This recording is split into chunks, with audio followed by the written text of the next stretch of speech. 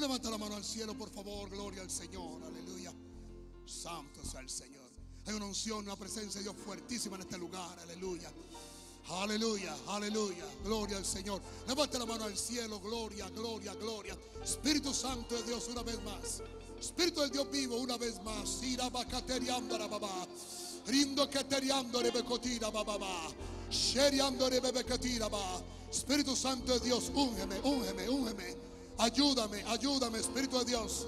Para yo traer la palabra, la palabra de vida, la palabra de poder. La palabra para esta noche, la palabra que es clave para este ministerio, la palabra que es clave para esta iglesia, la palabra que es clave para lo que está a punto de acontecer, la palabra que está anunciando el cielo. Padre, en el nombre de Jesús, Sabashira Bakaya, Sindore Bekatira Bakoria Raba, Sheria, oh, está bien, está fuerte la presencia en este lugar, oh, gloria al Señor.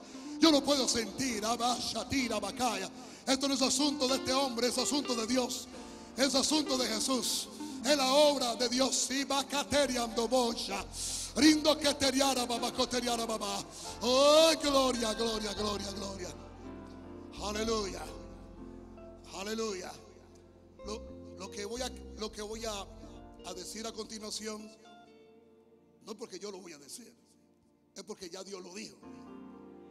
Y es lo que va a cambiar este centro internacional Maranata de Panamá.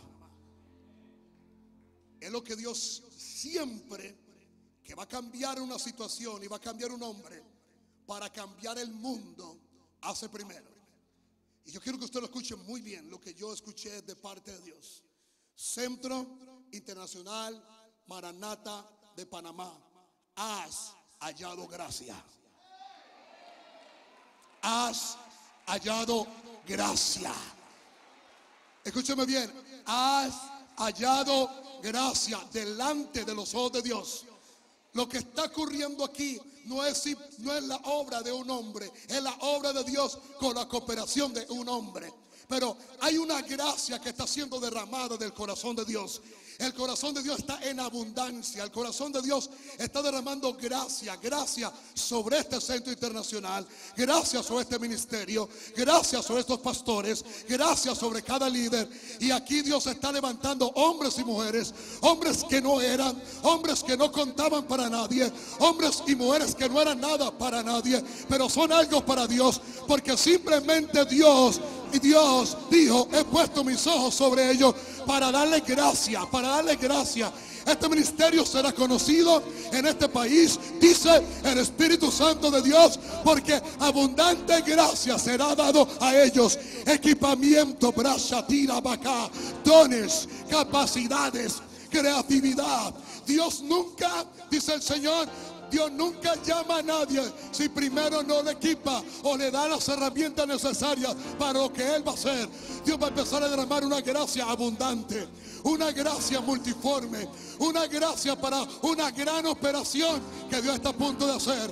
Y si usted lo cree, dígame algo, haga algo por favor. Yo recibo la gracia de Dios. Yo recibo la gracia de Dios. Yo recibo la gracia de Dios. Yo recibo la gracia de Dios. Puede sentarse en la presencia del Señor, aleluya.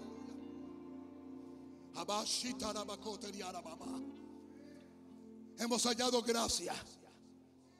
Hemos hallado gracia. Hemos hallado gracia. No, hemos, no, hemos, no estamos buscando una teología, no estamos buscando una ideología.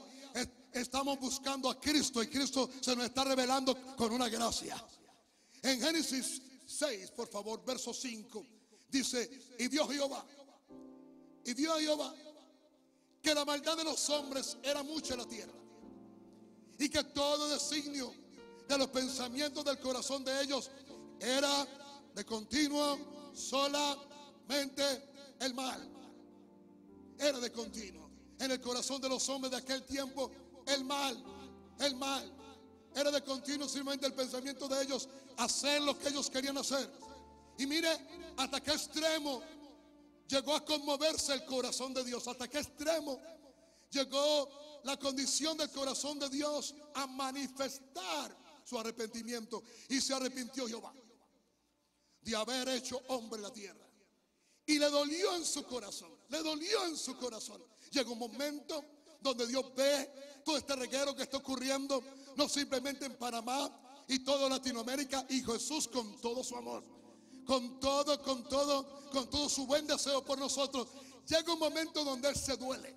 Llega un momento donde es inevitable el juicio. Es inevitable que Dios venga y juzgue a las naciones. Pero sabe algo, antes de, Dios, antes de Dios traer un juicio, Dios va a entender su gracia. Dios va a extender su gracia. Yo dije, Dios va a extender su gracia. Y Dios Jehová, raeré de sobre, raeré de sobre la faz de la tierra a los hombres que he creado. Desde el hombre hasta la bestia, hasta el reptil y las aves del cielo. Y usted podrá decir, bueno, ¿y qué tiene que ver un animal? ¿Qué tiene que ver un animal con la condición del hombre?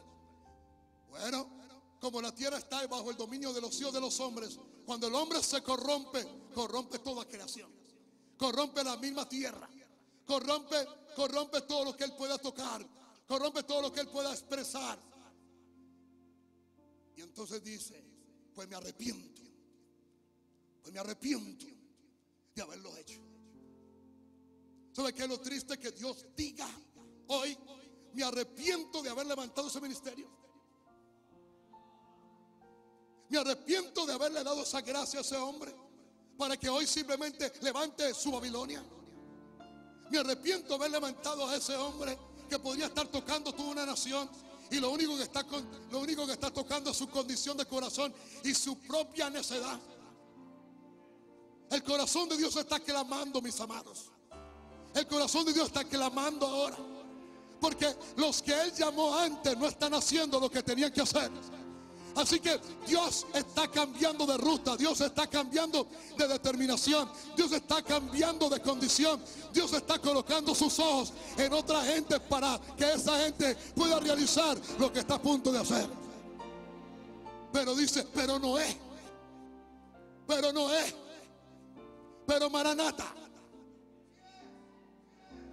Pero Maranata, pero no es. Halló gracia ante los ojos de Jehová. Ah, que era lo que tenía Noé, que no tenían los otros. Sabía Dios que Noé, que Noé iba a fallar, sí. Sabía Dios que Noé se iba a emborrachar, sí. Sabía Dios que Noé no iba a mantener la bendición, sí. Entonces, ¿por qué halló gracia? Por una sola razón. ¿Sabe quiénes hay? ¿Sabe quiénes son los que hallamos o se haya gracia delante de Dios? Aquellos que a pesar de sus limitaciones, que a pesar de su incapacidad, que a pesar de un sinnúmero de cosas, están dispuestos en su corazón a construirle a Dios lo que Él nos mandó hacer. No importa el precio que tengamos que tomar, no importa el tiempo que tengamos que hacerlo, no importa contra quién tengamos que pelear, no importa lo que tengamos que hacer, todo corazón que esté dispuesto para eso hallará gracia para Dios.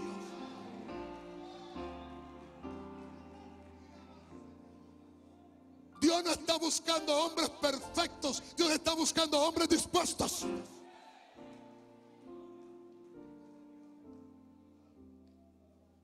Papito no es una casualidad, mi papá. Yo no hay un muchacho. Hay un hombre maduro de 500 años.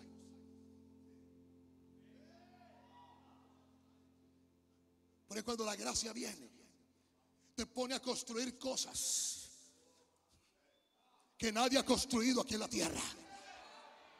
Usted podrá ver a mi hermano loco por lo que él dice, pero es la gracia que está sobre él que lo pone a soñar para diseñar proyectos y cosas que en esta tierra no existen. ¿Cómo Dios llama a un anciano de 500 años en una tierra donde no ha llovido a que haga un barco? Solamente la gracia hace eso. Él no era experto, pero la gracia le iba a dar la experiencia, la gracia le iba a dar el diseño, la gracia le iba a dar la fuerza, la gracia le iba a dar la capacitación. Ya me están entendiendo que lo que Dios está diciendo, hemos hallado gracia.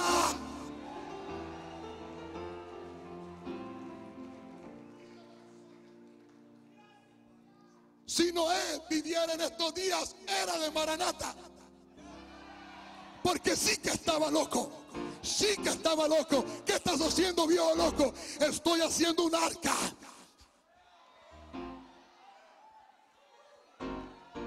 Se va a sorprender. Era un arca sin timón. ¿Sabe por qué? Porque lo que Dios construye, Él lo maneja. Él va a manejar este ministerio y lo va a llevar a la grandeza que Él nos ha dado.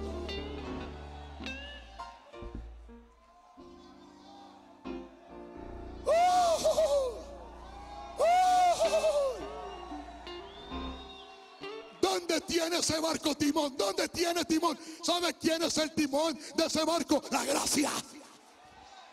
Este ministerio llegará a buen puerto, dice el Espíritu Santo de Dios, para recoger la gran cosecha mundial que Dios tiene en estos últimos días.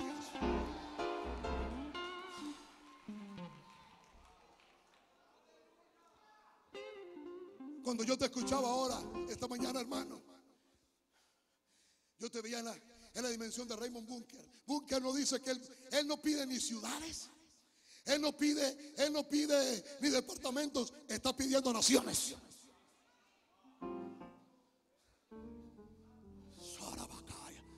¿Y sabe cómo le cayó la gracia a Raymond Bunker hace más de 30 años? Ah, estaba haciendo una pequeña campaña, no iban ni 20 gatos. Le faltaban 100 dólares. 100 dólares para hacer la campaña.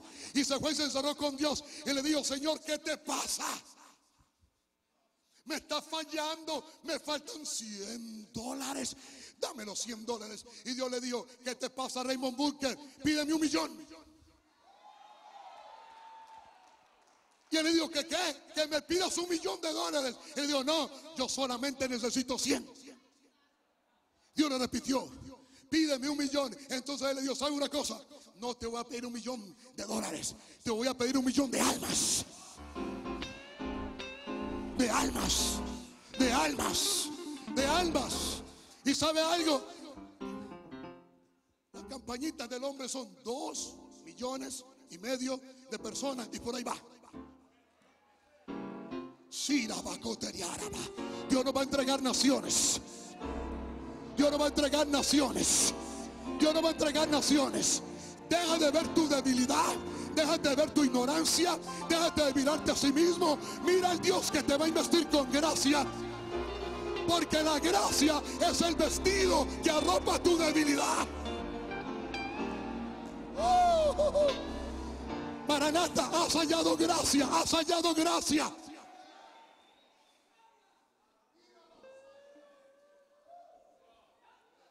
Usted tiene que saber qué es lo que está pasando en estos días. Esto es, más que una inauguración. Dios está mirando con sus ojos la actitud de nuestro corazón. Y sabe cómo está diciendo Dios, yo había dicho de este. Pero cuando Dios dice, yo había dicho algo de este, estaba mirando a otro. Dios no está mirando tu capacidad. Dios está mirando tu corazón. Dios está mirando tu actitud. Dios está mirando tu perseverancia. ¿Ah? ¿Estaría dispuesto a predicar justicia 120 años en medio de un mundo que estaba perdido? ¿Estaría dispuesto a construir una, un arca 120 años o el tiempo que fuera necesario con tal de cumplirle a Dios? Por eso lo que la gracia construye, la gracia cierra. Esa arca no la cerró Noé. La cerró Dios. Y lo que la gracia construye, siempre le coloca una ventana en el techo. Para que no mire las circunstancias, digo que siempre mires a Dios.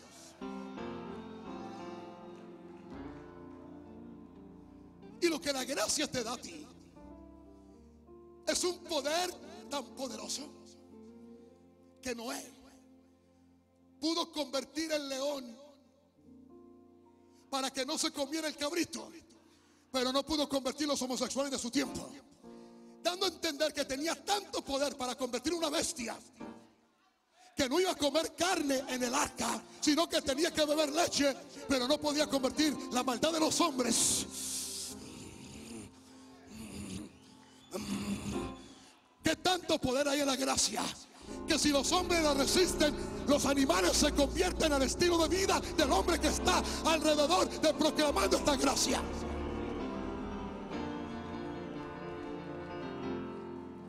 El león que entró a esa arca dejó de ser, dejó carnívoro. Dejó de comer carne. Tuvo que beber leche. Aquí no muerdes a nadie, aquí no comes a nadie y aquí no me atacas a mí.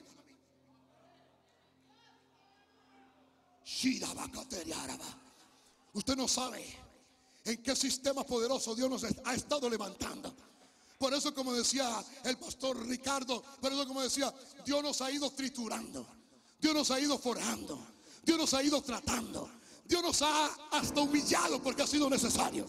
Dios nos ha sacado toda esa arrogancia endemoniada y toda esa actitud que impide la gracia de Dios porque Dios le da mayor gracia a quién? ¿A quién? ¿A quién? ¿A quién?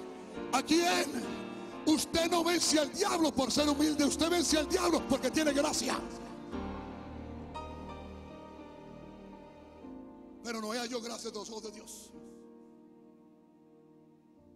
¿Sabe que la gracia de Dios es el deseo inmensurable e inmenso en el corazón de Dios para tratar al hombre como si nunca hubiera pecado?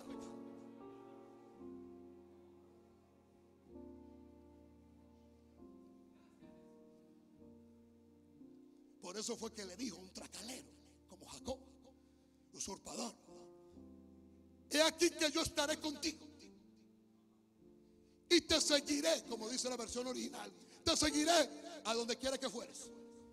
Y te volveré a traer a este lugar. Porque no te dejaré. ¿Sabe qué hace Dios para poder tratar a un tracalero mentiroso que se robó la bendición? Lo trató con gracia. Cuando Dios colocó su gracia sobre él, no vio su delito, no vio su pecado. Estamos en una, en una manifestación de la gracia en el Antiguo Testamento y hoy nosotros nos estamos deteniendo con un sinnúmero de actitudes, porque la perfección que queremos darle a Dios es una actitud de orgullo. Yo le fallé a Dios, ¿cuánto no le hemos fallado a Dios? Yo me equivoqué. A mí me dio la chiripiorca. Yo no quería ir a la iglesia, pero tuve que ir. A mí también me dieron los bajones. Yo no quería hacer eso. También me llené de estupor y de temor cuando oí y vi la visión que Dios tenía para mí. Y aunque Dios fue el que me dijo, fue el primero que dudé. Ah, no, a usted no le pasa eso. Ustedes no viven ahí. Ah, ahí vivimos todos cuando estamos en nuestra naturaleza humana. Pero sabe algo, Dios viene y nos trata con esa gracia, porque la gracia es Jesucristo, el Hijo de Dios, metido dentro de ti para hacer lo que Dios te mandó hacer. Ahora, cuando Dios va a derramar la gracia sobre alguien o sobre un lugar, Él sabe dónde tú estás. Te busca y te halla. Pero no he hallado gracia ante los ojos de Jehová. Halló gracias. Se le dio una encomienda. Dice en Lucas 1, verso 28, y entrando el ángel donde ella estaba, dijo, salve, muy favorecida. El Señor es contigo. Bendita tú eres. Bendita tú entre todas las mujeres. Mas ella cuando le vio se turbó por sus palabras, pensando que salutación sería esta. Entonces el ángel le dijo, María no temas, porque has hallado gracia delante de Dios. La gracia por sí solo manifiesta el favor de Dios para exaltarte. Le tenemos miedo a la exaltación. No es que, es que Dios no nos mandó a nosotros a exaltarnos, pero cuando Él nos exalta no es pecado. Y voy a decir algo, la gracia viene para exponerte. La gracia viene para darte un nivel de exposición. La gracia viene para darte una capacidad de revelación. La gracia viene para darte una capacidad de habilidad. La gracia viene para darte un poder de creatividad. Y es imposible que donde hay favor no haya exaltación. Dios va a empezar a exaltar este ministerio. Dios va a empezar a exaltar a estos pastores. Dios va a empezar a exaltar a cada ministro en su tierra, en su tiempo, en su momento. Porque el favor de Dios es para exaltarnos. Escúchame bien, el tiempo de estar detrás del púlpito donde nadie te conoce se acabó. El tiempo donde el diablo quería tapar este ministerio a la ciudad que llegaba se acabó. El tiempo donde hacíamos tremendas actividades que podíamos bendecir toda una nación y el diablo hacía lo que fuera para que no nos conociera, se acabó. Porque el favor de Dios es el poder de Dios en operación para exaltarte en el lugar donde tú estés.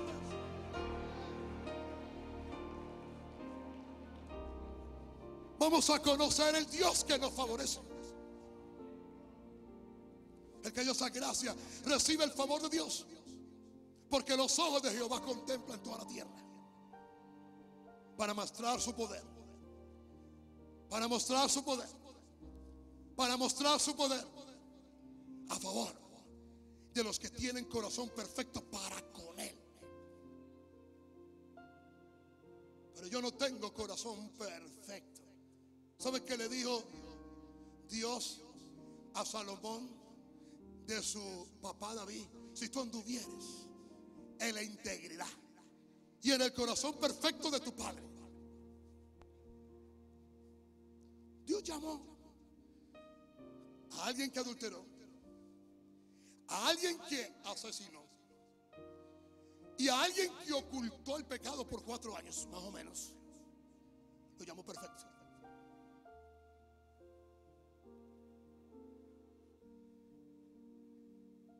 Y usted podrá decir, bueno,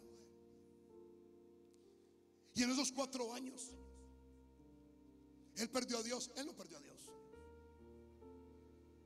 De cierta manera, hay hombres que conocen tanto a Dios que aunque estén mal, siguen caminando con Dios. Y aquellos religiosos que creen que están bien, que no dependen de Dios, Dios no camina con ellos ni una cuadra. Y yo no estoy auspiciando el pecado.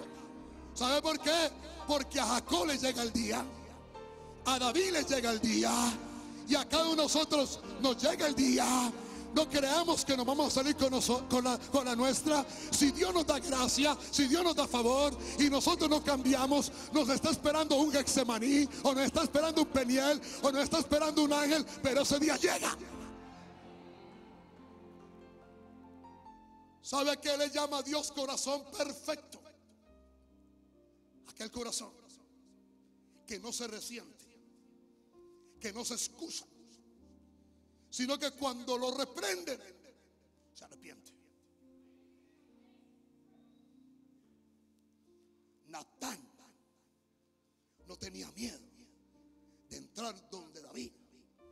Pero los profetas que tenía Saúl, pregúntele a su propio papá Samuel, qué triste que tu propio papá espiritual le diga a Dios que no puede traerte una palabra a ti porque si tú lo sabes, si tú sabes lo que te van a decir, te vas. ¿Sabe qué le dijo Samuel a Dios? Si Saúl lo sabe, me puede matar. Me puede matar. Me puede matar. David no. David no. Natán entró. Natán lo enfrentó. Natán le dijo todo. El rey se, se, se exaltó la molestia. Se puso en pie y dijo, el hombre que hizo eso debe morir. Y Natán le dijo, tú eres ese hombre. Tú mismo te has juzgado. Tú debes morir. El corazón perfecto nunca acusa la voz profética. Ni la juzga. Ni la juzga. Ni la pone en entredicho. Ni se enoja. Ni se irrita con el Padre que lo está bregando. Salomón nunca hizo un pecado de esa magnitud, pero su corazón se corroyó por las mujeres que tuvo. Y nunca tuvo un corazón perfecto. Dios está mirando Latinoamérica. Dios está mirando Latinoamérica. Pastor, Dios está mirando tu ciudad. Y antes de mirar una ciudad, escúchame bien, Dios no viene aquí a, Panamá a buscar y a ver el, el canal de Panamá o un mall. No, Dios está buscando corazones. Corazones que puedan recibir la gracia, corazones que puedan recibir la comisión, corazones que estén dispuestos a obedecer, corazones que tengan suficiente capacidad para poder recibir todo lo que Dios nos quiere dar. Usted podrá escuchar aquí todo el que se sube, todo lo que predica y podrá decir, están sobando el saco, están diciendo cosas, wow, una cosa que yo creo que no es así. Están aquí para allá por simplemente por adularnos. Esto no es adulación, esto es palabra profética, esto no es adulación, esto es palabra del cielo. No es por exaltar este ministerio. Dios está colocando los ojos sobre este país para mirar sobre quién coloca esta bendita gracia.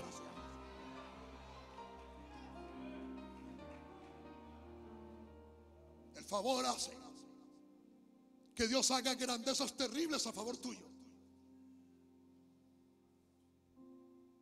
Esto es un mover de la presencia de Dios. Yo dije que esto es un mover de la presencia de Dios. Y la presencia no se va a quedar aquí. La presencia va a caer aquí. La presencia va a iniciar aquí. Pero la presencia se va a ir para allá. Se va a ir para allá. Se va a ir hacia allá. Se va a extender hacia los lados. La presencia se va a ir contigo. La presencia va a llegar a tu casa. La presencia va a ir a trabajar mañana contigo. La presencia va a estar contigo. Te esforzará, te levantará, te ayudará. Ese asunto que simplemente unos pocos hombres en la Biblia o en la antigüedad o en la historia de la iglesia donde llegaban, la gente sentía que llegaba Jesús. Esos días están a punto de regresar, pero no para dos o tres hombres, sino para la iglesia. La iglesia está siendo engendrada en gracia y en presencia de Dios y esa presencia va a ir allá afuera.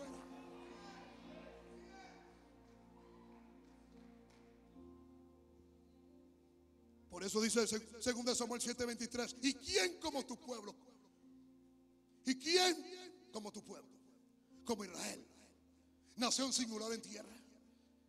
Porque fue Dios para rescatarla por pueblos suyos. Y para ponerle nombre. Y para hacer grandezas a su favor.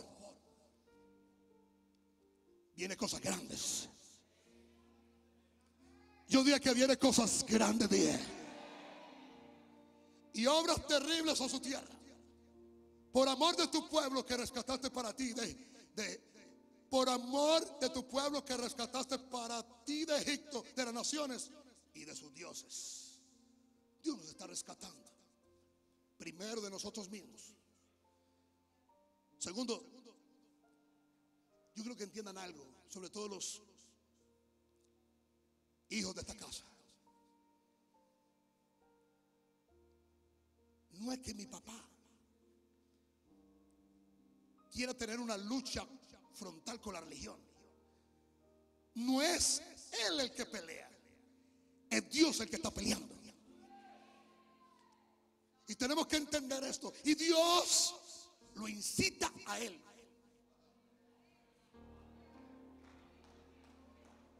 No es que él se está inventando una pelea. No es que él quiere ir a un conflicto. No es que él se cree el gran chacho de la ciudad. No es que él se cree el gran apóstol. Es que Dios lo incita. Porque Dios está irritado con toda esta bajeza de religión con todo este sistema esclavizante. Ese sistema está peor que los fariseos, está peor que los que está peor que los egipcios, está peor de lo que de, lo, de todo pueblo que ha esclavizado. Hay mucha gente allá que está esclava y es Dios el que lo incita a él a esta lucha, porque es Dios el que está irritado contra ellos y sobre ellos y quiere que diga algo. Hay mucho pueblo que rescatar, hay mucho pueblo que ayudar, hay mucho pueblo que levantar. Usted apenas son la primicia y ustedes no son ni el 0,0001% de la gente que Dios va a rescatar allá afuera. Aleluya.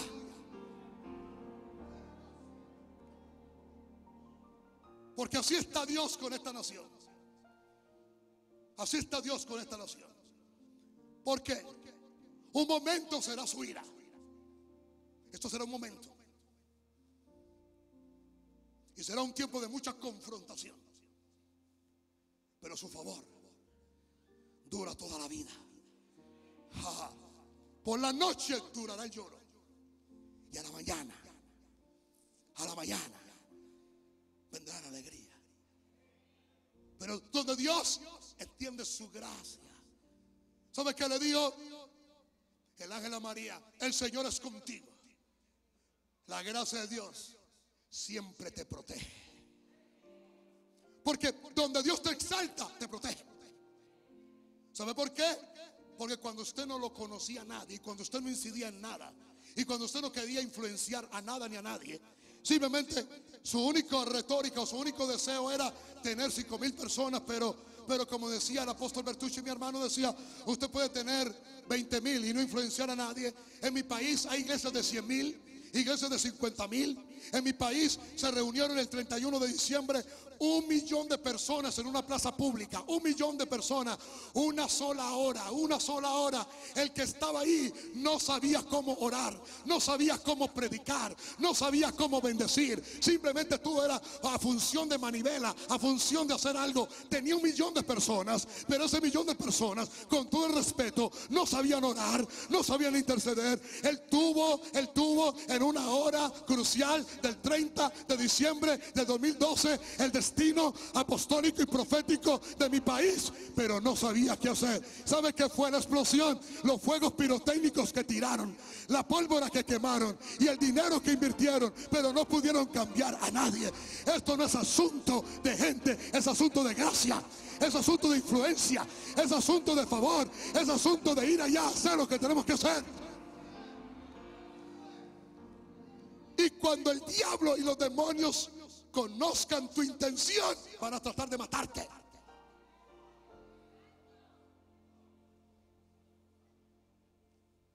Pero ¿sabe qué te dice el Señor? Yo estaré contigo. Yo estaré contigo. Yo soy el que te levanto. Yo soy el que te exalto. Y yo soy el que te protejo. ¿Sabe algo? Si fue Dios el que te colocó en esa plataforma, si fue Dios el que te colocó en esa preeminencia, si fue Dios el que te colocó en ese país, y si es Dios el que te está levantando, no tengas temor, Él es el que te va a proteger.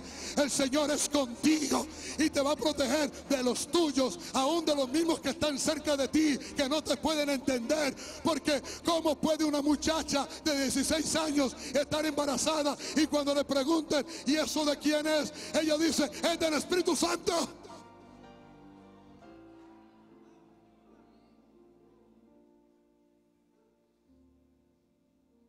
Los mayores asesinos son la religión. Mataron los profetas. Mataron a Jesús. Mataron a los apóstoles. Los mataron. Los mataron. Pero Dios siempre te va a esforzar. Dios siempre te va a ayudar. Dios siempre te va a sustentar con su protección. No estás solo. No estamos solos en nuestros países. Y entre más violentos, y entre más secos, y entre más oposición haya en nuestro país, va a abundar más gracia. La gracia es lo que va a reventar lo que está vacío. La gracia es lo que va a reventar lo que está seco. La gracia es lo que va a visitar donde no hay nada. Porque donde abundó el pecado. Donde abundó el pecado, donde abundó el pecado, donde abundó el pecado, donde abundó el pecado, donde abundó el pecado, donde abundó el pecado. ¿Sobreabundó qué? ¿Sobreabundó qué? La gracia sobre donde que va a empezar estas chispas de este avivamiento en las regiones de, de, los poblados más violentos donde no puede entrar la policía, donde no puede entrar la fuerza pública, donde solamente podemos entrar a predicar el evangelio. Ahí es donde nosotros vamos a cambiar esas comunas y esos territorios y ahí Dios nos protegerá y Dios nos ayudará.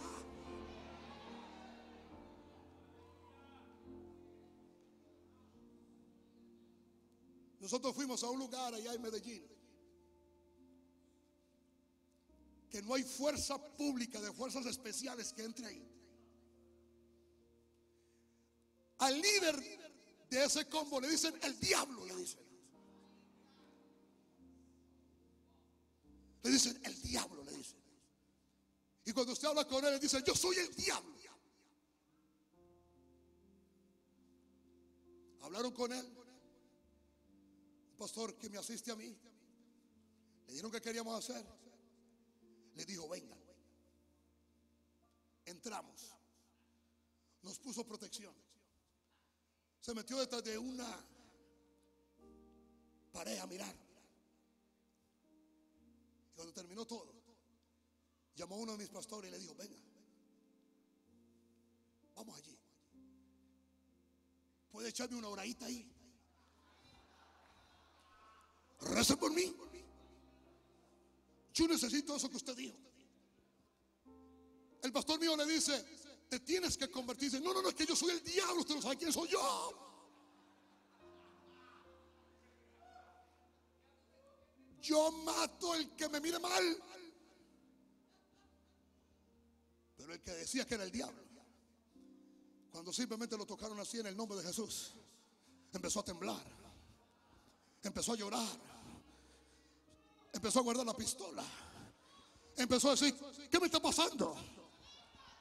¿Qué es lo que usted me está haciendo? ¿Ah?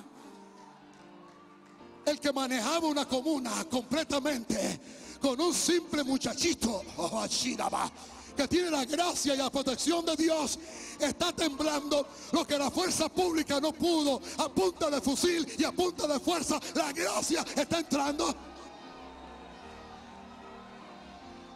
Lo que nosotros estamos manejando es atómico.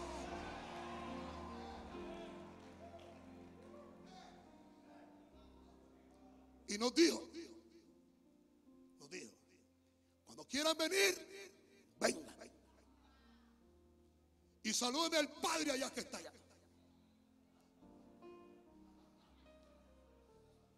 Porque le dicen el Padre. Es que es el padrino. Dice, no, no, no, es mi Padre. La gracia te va a proteger. Nadie te puede tocar. Porque eres favorecido. Los envidiosos se van a levantar, claro que sí. O oh, los religiosos sí que te van a perseguir. ¿ah?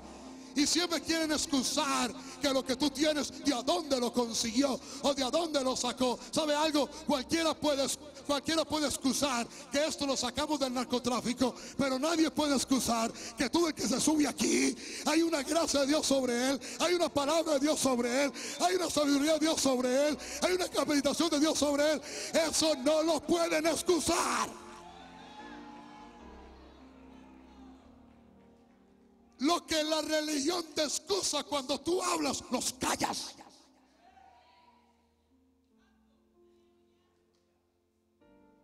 Haya la gracia. Es bendito entre todos los hombres. Y yo lo siento mucho. Deje esa falsa humildad. de tratar de ser como todos los ministros de la ciudad. Y yo, yo no tengo nada. Si estás bendito, estás bendito. El favor te exalta. La, la, gracia con el favor te exalta, Dios te protege y ahora la bendición camina delante de ti.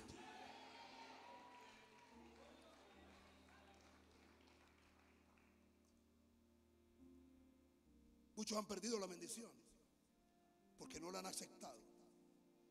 Porque la bendición de Jehová la que enriquece. La que enriquece. Yo le dije ayer a, mi hermano Diego, le dije, ¿eres tú? ¿O Dios se busca otro? A Dios no le importa que hayan 320 religiosos. Porque a Dios no le importó que hubieran 850 profetas falsos. Así que si tú no quieres bregar con la presión y con la oposición y con la crítica, Dios va a tener que buscarse otro. Usted se puede imaginar cuántas veces le dijeron viejo loco a Noé cuando pasaban y veían ese artefacto montado en un árbol que parecía una nave espacial. ¿Y qué está haciendo ese viejo loco? Es que un barco. ¿Y eso para qué es? Que un diluvio. ¿Un qué? un diluvio. ¿Que por qué? Que porque Él dice que va a llover. Y así está la iglesia muchas veces. Dios va a llover bendición. Dios va a llover gracia. Dios va a hacer cosas tan tremendas que no hemos entendido. Pero el asunto, está, el asunto de muchos es que están más concentrados en lo que el diablo está haciendo en su país, en lo que el diablo está destruyendo en su país, en lo que el diablo quiere seguir destruyendo en su país, que no pueden ver lo que Dios está a punto de traer de solución a su país.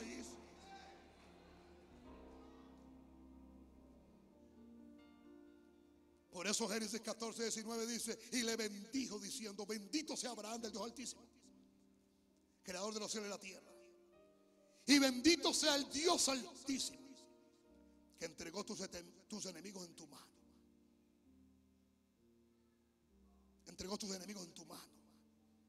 Y le dio a Abraham los diezmos de todo. Porque un hombre que está en gracia siempre da lo que le entra, su diezmo a Dios. Es la gente que ha perdido la gracia, que su corazón no está tierno, que se endurecen para no dar. ¿Y qué le parece a usted la gracia y la bendición que había sobre José? ¿Ah?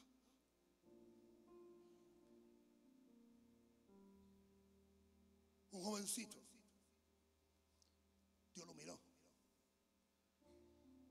Lo observó. ¿Sabía usted que el soñador de la casa de Jacob no era José, sino Jacob?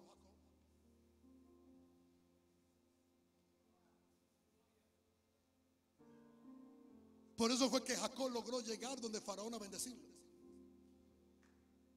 Pero el propósito de Dios era que Jacob llegara donde Faraón para describir el sueño. El soñador era él. Lo que pasa es que él se lutó cuando perdió a su mujer. Y al enlutarse, el sueño le cayó al hijo. Y para que el sueño se cumpliera, Dios tuvo que sacar a José del enlutamiento de su papá, porque si no, su papá era capaz de destruir la gracia y el don que estaba sobre él. ¿Sabe por qué muchos tuvieron que venir aquí? Porque hay muchos allá que están enlutados, hay muchos allá que están frustrados, hay muchos allá que están dolidos, hay muchos allá que te quieren controlar, hay muchos allá que te ven como una amenaza. Y si tú no sales de allá, escúchame bien, dice el Espíritu Santo de Dios, si tú no sales de allá, el que está allá va a matar el sueño de Dios que hay en ti.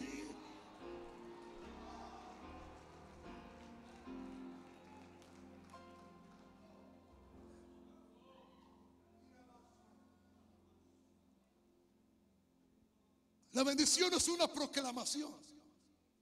La bendición es una persona. Por eso,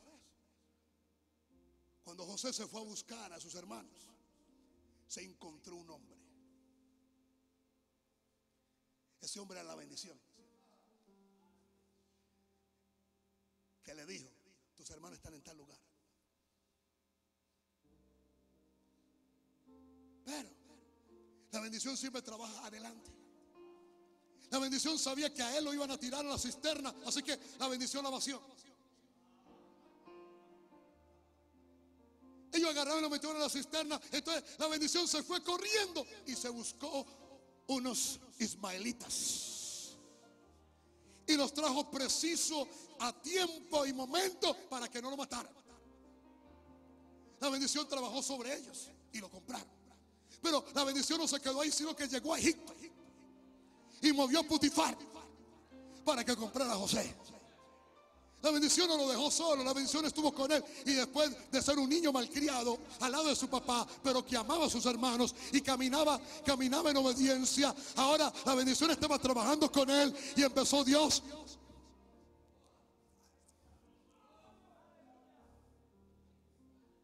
José es el único esclavo que no tiene dos trajes, que no tiene cuenta bancaria y es varón próspero. Porque prosperidad no es dinero. Prosperidad es que Dios está contigo donde tú vas. Y era José, varón que próspero.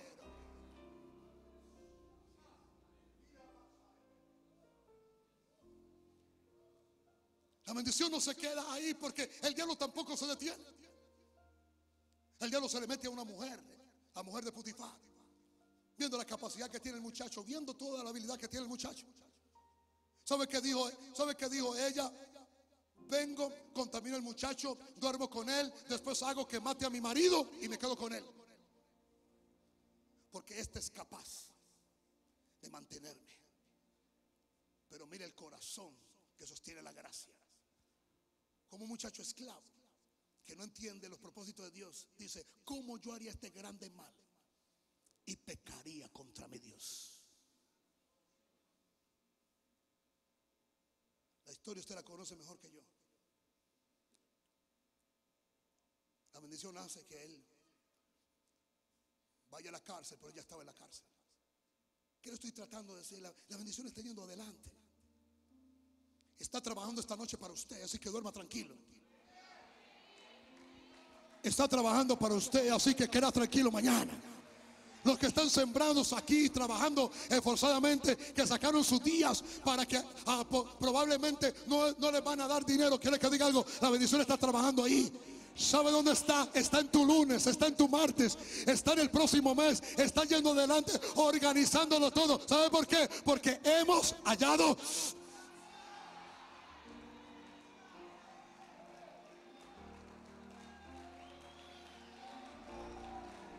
¿Cuántos aquí están recibiendo esta gracia? Pastor, la bendición de Dios está trabajando adelante.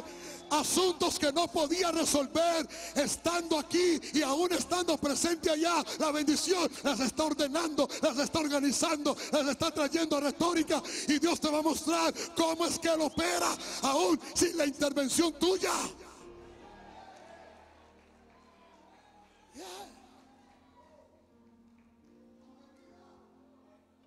Quédate quietecito y quédate tranquilo y duerme como un bebé. Deja que la bendición haga esa negociación. Deja que la bendición traiga ese terreno. Deja que la bendición traiga ese gran local. Deja que la bendición traiga toda esa gente. Deja que la bendición te compre ese carro. Deja que la bendición haga esa negociación. Déjalo porque has hallado gracia.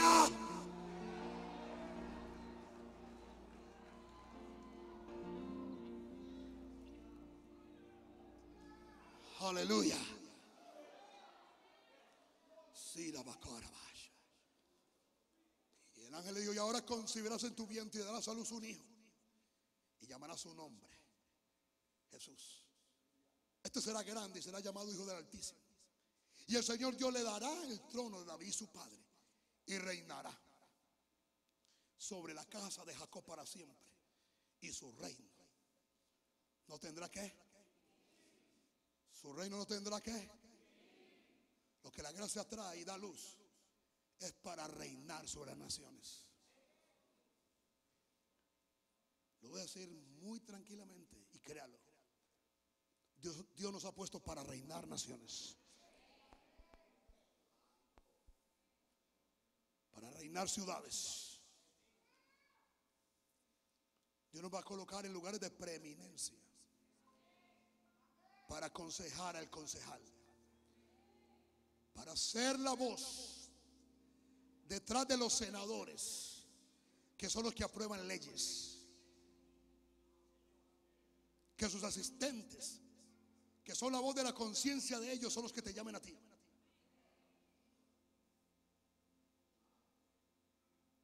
Y te pregunten, pregúntele al apóstol, pregúntele a su padre, o pregúntele al hombre de Dios acerca de esta ley, ¿cuál es su consideración?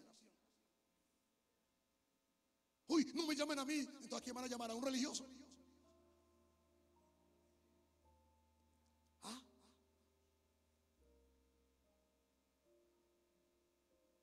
Dios te va a poner ahí en ese lugar.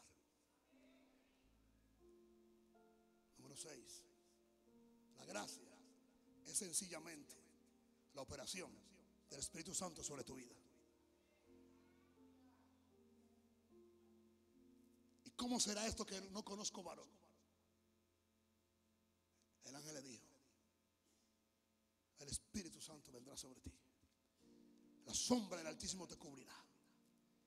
Y el santo ser que nacerá será llamada Hijo de Dios.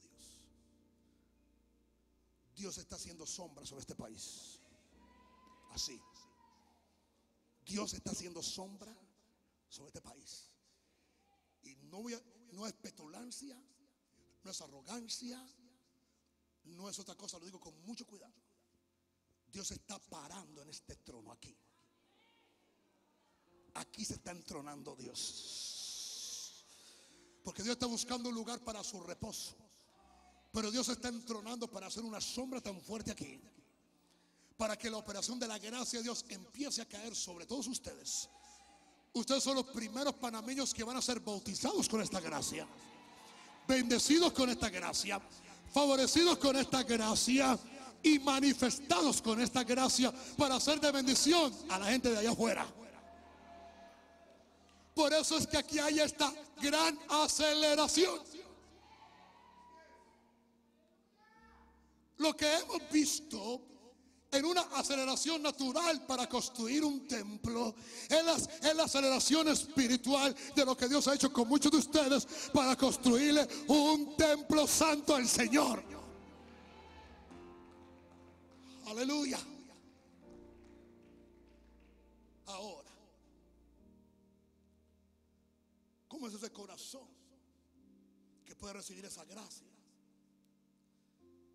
¿Qué diferencia había entre María y Zacarías? A Zacarías le dijeron, tu oración ha sido oída. Y Zacarías no creyó. En cambio, a María que no oró, le dijeron que la iban a embarazar y ella simplemente creyó. Porque muchas veces los que oramos no creemos. Así que Dios tiene que buscarse a alguien que no ore tanto, pero que crea más. Deje de patinar en lo que tanto están diciendo aquí, como ha dicho mi hermano, como ha dicho mi papá, como ha dicho los pastores, como ha dicho todo siervo de Dios. Aquí hasta el que recoge ofrendas profetiza. Créalo. Tienes que creerlo, por favor, créame, créame. Yo no estaría proclamando esto si Dios no me lo dijera. Créalo. ¿Sabe cuál es el corazón que recibe esa gracia? He aquí la sierva del Señor. Yo no entiendo todo, yo no sé cómo, yo no sé cómo va a acontecer, yo no sé si lo voy a sentir, yo no sé si lo voy a experimentar, yo no sé cómo es que lo vas a hacer. Es más, ni me interesa ni me importa, tú lo dijiste, he aquí la sierva del Señor, hágase conmigo conforme a tu palabra. Y María fue preñada de gracia y de verdad.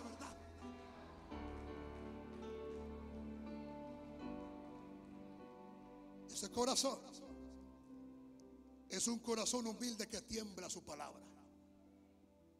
Pastores, seamos gente sencilla,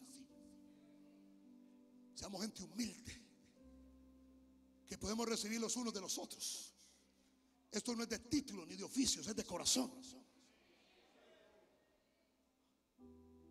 Jesús dijo que el que esté más alto, o el que quiera ser más alto que todos, que le sirva a todos.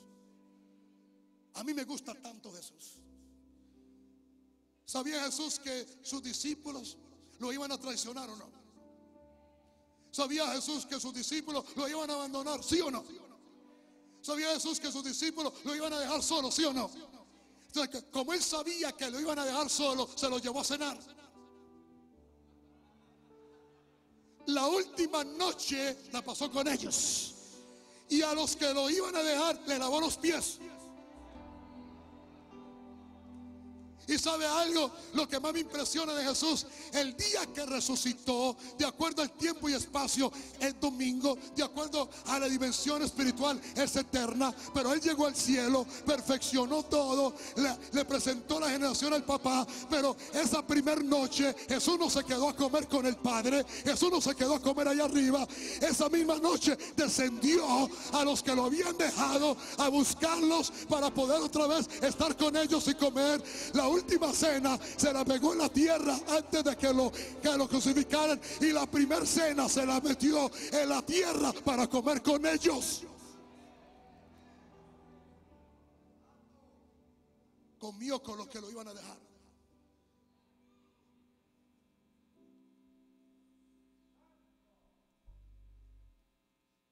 Jesús le, le estaba lavando los pies al que lo iba a traicionar. Tratando de limpiarlo. Y yo termino. Esta gracia nos dará la capacidad para ver la gloria de Dios. Viene una gloria. Viene una gloria, Maranata. Viene una gloria que no hemos conocido. No hemos experimentado. Viene una gloria que nos va a cautivar. Una gloria que nos va a marcar. Una gloria que no nos va a dejar igual. Una gloria que va a atraer a las personas que no hemos imaginado. Una gloria que puede derretir el corazón de una persona dura en segundos. Una gloria que puede transformar el cuerpo enfermo de cualquier persona. Pero una gloria que nos va a rendir hacia Él con su amor. Una gloria nunca antes vista. Una gloria con cosas terribles. Y Dios Moisés a Jehová, mira, tú me dices a mí, saca este puerto. Y tú, me, y tú no me has declarado a quién enviarás conmigo.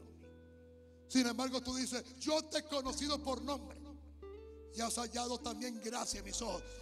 Todo aquel que Dios coloca sus ojos sobre él, en gracia, conoce, conoce a detalle quién eres tú.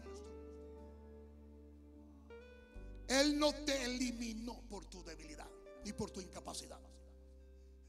Él te activó por tu disposición para caminar con Él. A pesar de lo que tú adoleces. Miren muchachitos, jóvenes, dejen el temor de ir a hacer la obra de Dios. Y den el temor de ser pastores, aunque sean muy jóvenes. Ustedes pensarán, cuando me case o cuando esté más perfecto o cuando no adolezca de esto, quiere que diga algo. Llevamos un poquito recorriendo con Dios y todavía adolecemos. Porque a Dios le gusta que dependamos de Él. Ahora pues, si hay gracia en tus ojos, te ruego que me muestres ahora tu camino para que te conozca y haya gracia en tus ojos. Y mira que esta gente es pueblo tuyo. Y él le dijo, mi presencia irá contigo. Y te daré descanso. José respondió, si tu presencia no ha de ir conmigo, no nos saques de aquí. Pero si ya le digo que la presencia de Dios va a ir con él. Y entonces le pregunta, ¿y en qué conoceré? ¿En qué conoceré? Aquí que haya hallado gracia en tus ojos, yo y tu pueblo, sino en que tú andes con nosotros y que yo y tu pueblo seamos apartados de todos los pueblos que están sobre la faz de la tierra. Y Jehová dijo a Moisés, también haré esto que has dicho, por cuanto has hallado gracia en mis ojos y te he conocido por nombre. Entonces dijo, te ruego que me muestres tu gloria. ¿Y sabes qué le dijo Dios? Yo haré pasar todo mi bien delante de ti. ¿Sabe que la gloria de Dios? Todo el bien de Dios corrigiendo y enderezando todo el mal que hay en nuestra vida, en nuestra familia, en nuestra iglesia, en nuestro camino, en nuestra ciudad, arreglándolo todo. Dios soluciona todo con gloria.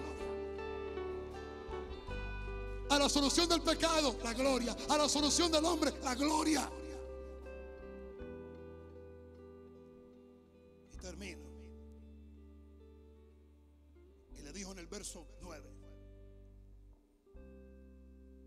Ahora, Señor, he hallado gracia en tus ojos, vaya ahora el Señor en medio de nosotros. Porque es un pueblo de duro servicio. Perdona nuestra iniquidad y nuestro pecado. Y tómanos por tu heredad. Y él le contestó, he aquí yo hago pacto delante. He aquí yo hago pacto delante de todo tu pueblo. Y esto es el pacto, Maranata. Esto es el pacto, Maranata. Maranata, este es el pacto. Haré maravillas haré maravillas que no han sido hechas en la tierra. Dios no va a repetir el avivamiento con los africanos en Latinoamérica. Dios no va a repetir otra calle Exusa. Si Dios repite un avivamiento, Dios está corto en invento. Y está corto en creatividad. Estamos a punto de ver algo indescriptible algo que no hemos nunca jamás en la tierra se ha visto. Y ese es el tiempo para este Latinoamérica. Este es el tiempo. Este es el tiempo. Tenemos un retraso de 20 años.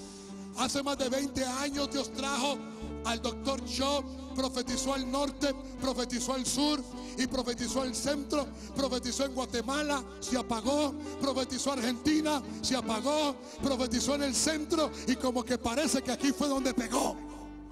Y está empezando y está empezando.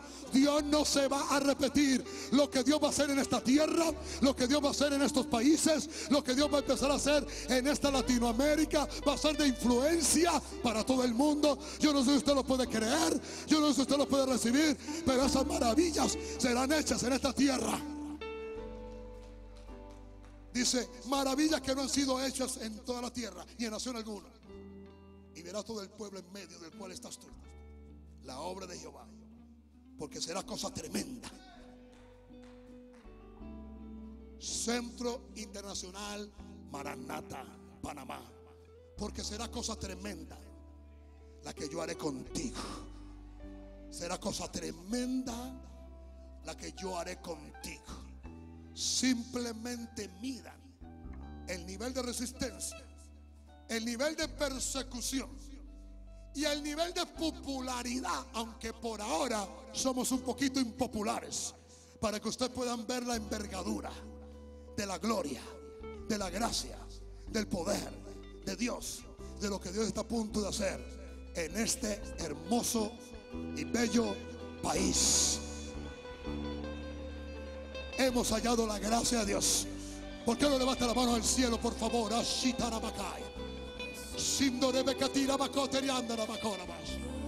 Reciba esa gracia. Reciba esa gracia. Reciba esa gracia. Reciba esa gracia. Reciba esa gracia. Señor, equipa hombres. Señor, equipa jóvenes. Señor, equipa mujeres. Señor, equipa, equipa, equipa ministros. Señor, equipa predicadores. Señor, equipa pastores. Señor, que tu gracia, que tu gracia, que tu gracia nos dé diseño, nos dé inventos, nos dé creatividad, nos dé poder.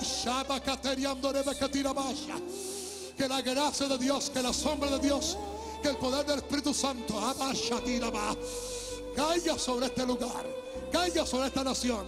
Padre, que seamos investidos con ese nuevo poder de gracia para gloria de tu nombre. Y el pueblo de Dios grita.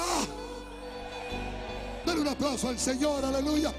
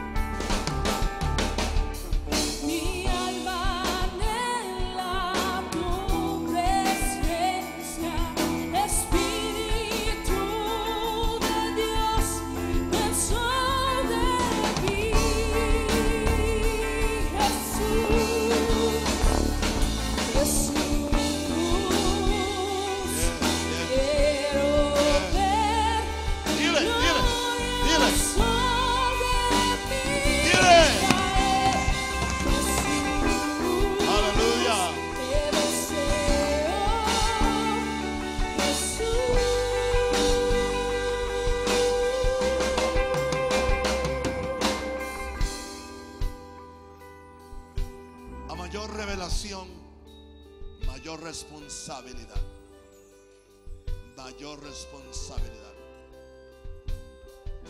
Mayor responsabilidad. Usted no tiene idea de lo que Dios está gestando.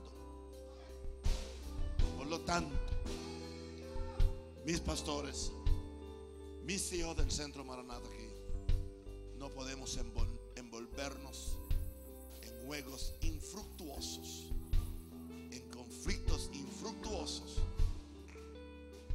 porque hay algo grande que Dios quiere hacer.